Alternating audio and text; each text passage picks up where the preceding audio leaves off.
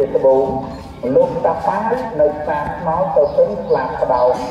លោកតាគីពេងនៅអណ្ដូងល្វេលោកតានៅធំនៅទូត្រៀមខាងជើងលោកតាទៀតលោកយាយឈៀនជាញោមវត្តនាពេលល្បាច់របស់នឹងឯងទឹកល្បាច់របស់នឹងឯង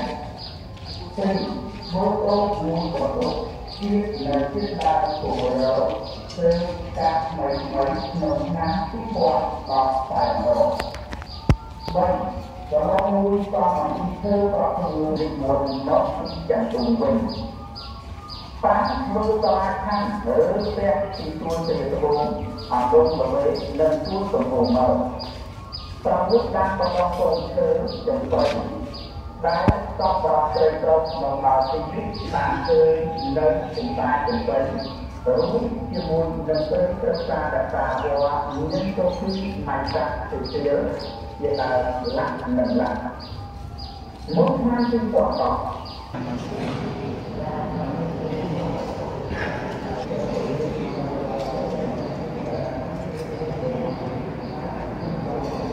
អត់អីទេញោម ញោមមកអាត្មាចូលប៉ុស្តិ៍ទៅបានជួបលោកតាមួយផ្លែតលោកតាទៅជួបវិញនេះទេក្នុងបន្ទប់វិញវិញ